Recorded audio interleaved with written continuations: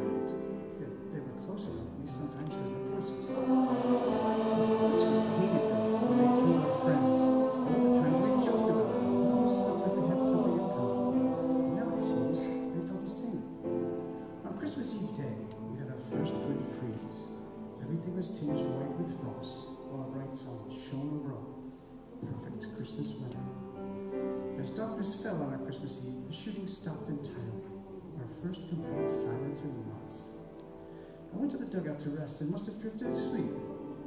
All at once my friend John was shaking me awake, saying, Come and see